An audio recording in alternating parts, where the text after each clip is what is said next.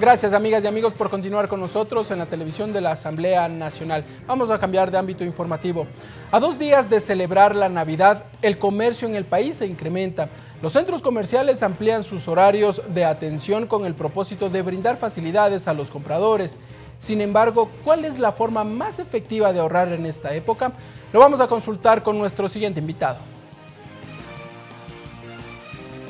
Hugo Villacrés, economista, máster en Ciencias Económicas, máster en Administración de Empresas, ex subgerente del Banco Central, expresidente del directorio del IES.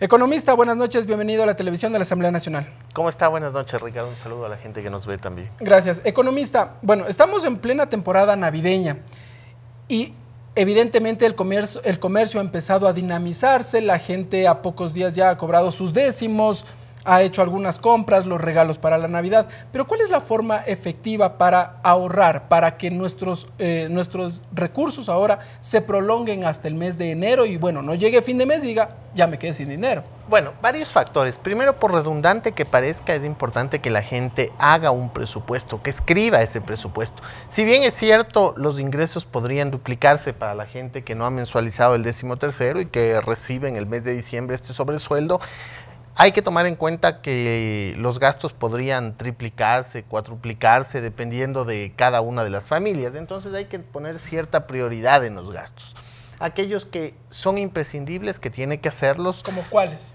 Por ejemplo, eh, la comida para la cena de Navidad, lo más importante es en esta temporada pasar juntos, entonces hay que priorizar el tema de la comida para la cena. Después los niños, y los niños van de la mano con los confites, los juguetes, y después de ir priorizando otro tipo de cosas para dejar en los peldaños de más abajo lo deseable, lo que quisiéramos que se dé, pero que bien podría no hacerse directamente en este mes, sino en el transcurso del próximo año. Uno podría pensar ahí, por ejemplo, un obsequio mm, no a una persona no muy cercana, por ejemplo, podría hacerlo para luego, para un poco después tal vez, o comprarse algo para uno mismo que uno podría pensar. Está pensando en la suegra, por ejemplo. Para la, suegra puede ser un, deseable, pero no un necesario imprescindible. Pero también se le podría entregar en estas Puede ser que la suegra esté dentro de los imprescindibles. Estamos simplemente bromeando. Lo que quiero decirles es que es necesario hacer una priorización. Es importante que uno separe aquello que no puede dejar pasar de aquello que puede postergar para el transcurso de los próximos meses o del siguiente año. Después es importante buscar los diferentes lugares de compra. Como preámbulo a eso, tener en cuenta que no todo obsequio debe ser necesariamente comprado. Hay muchas cosas que se pueden hacer en casa. Hay bazares navideños de los diferentes barrios en donde uno puede conseguir y adquirir cosas a bajo precio y muchas de ellas pueden ser hechas por sus propias manos, especialmente los niños, los más chiquitos.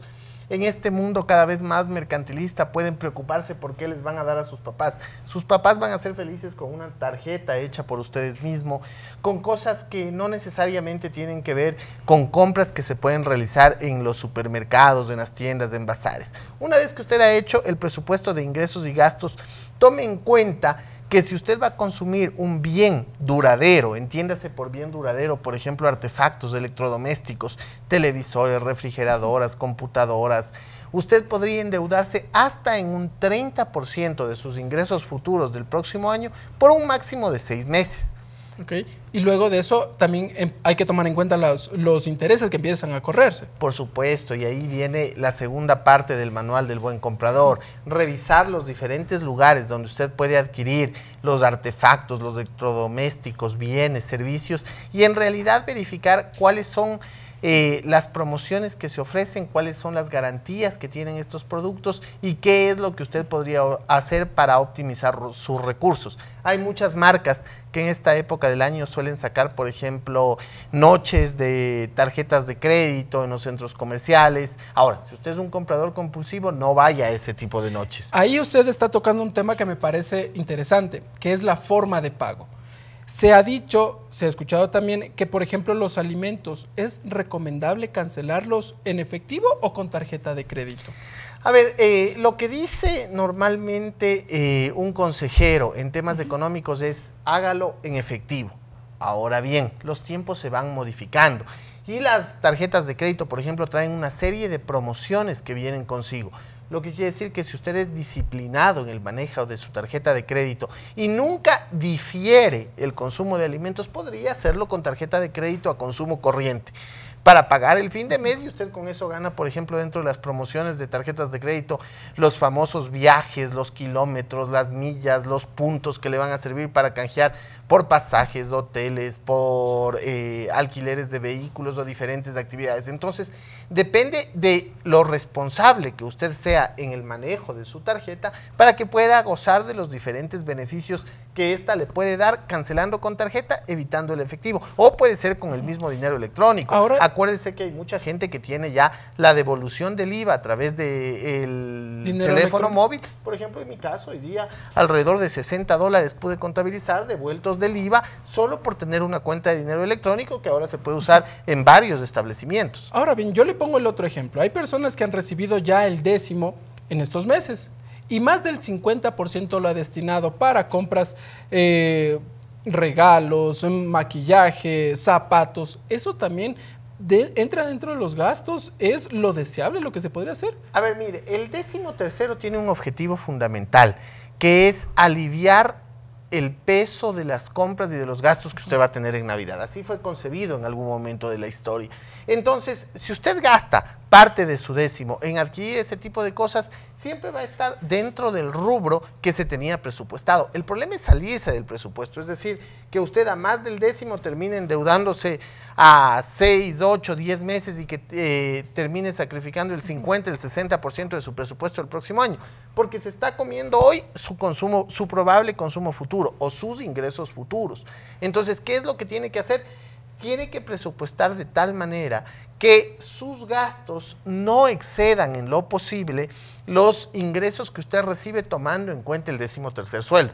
Como le digo, si es un bien de consumo duradero o si hay gente que está pensando en vehículos, en terrenos, en departamentos, ahí sí, claro, puede usted sacrificar parte de su consumo futuro teniendo en cuenta que el máximo de nivel de endeudamiento que usted debería tener dentro de sus ingresos futuros es del 30%. ¿Por qué? Porque además mes a mes usted va a tener gasto corriente, alimentación, educación, transporte, movilidad, pago de que no se deberían topar al menos al fin de mes. O sea, uno ya más o menos presupuestar cuánto es lo que destina para estos elementos que se entiende son los principales. Mire, ese es, ese es un tema muy importante ahora que también, además de las festividades, navideñas, va a iniciar un nuevo año, es importante que la gente tenga eh, claramente identificado cuáles son los gastos mínimos sin los cuales no puede salir un mes. Y esos están relacionados nuevamente con lo que yo le decía, transporte, educación, con el tema de trabajo, pago de servicios básicos, internet, está relacionado con todo aquello, alimentación, con todo aquello que usted no puede eximirse de consumir durante un mes. Esos son los gastos mínimos que usted tiene en un mes. Y si le queda un excedente, parte de ese excedente puede destinarlo o al ahorro o si es que ha tenido un consumo de un bien duradero, al pago del consumo de ese bien duradero. Siempre se aconseja desde la perspectiva del análisis de economía cotidiana, de economía familiar, tener un pequeño porcentaje de ahorro para eventualidades. Dios no quiera, nadie está libre de una enfermedad, eh, de algún problema dentro de la familia y en ese momento puede usar esos recursos. Ahora bien, vamos a entrar en un nuevo año y uno de los temas que usted ya lo mencionó es la mensualización de los décimos. Se ha visto y se tiene ya la experiencia a lo largo de este año. Desde su experiencia como economista, ¿es lo mejor, lo deseable empezar a mensualizar o generar una especie de ahorro de estos décimos que ya los recibiríamos mes a mes si es que así lo desea? Va a depender de su disciplina financiera. Si usted es financieramente muy disciplinado y tan pronto recibe sus ingresos, separa el porcentaje de décimo tercero en una cuenta de ahorros, yo le podría decir, al cabo de los 12 meses, es decir, cuando llega diciembre, usted va a tener más que su décimo, porque va a tener una pequeña rentabilidad que mes a mes le ha generado esos recursos producto de estar en una libreta de ahorros.